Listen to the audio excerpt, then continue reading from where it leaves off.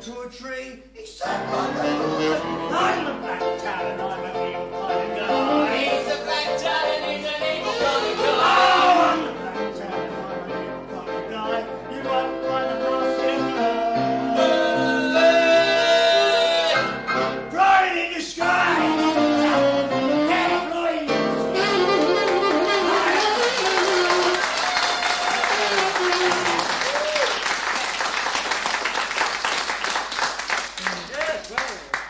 most impressive.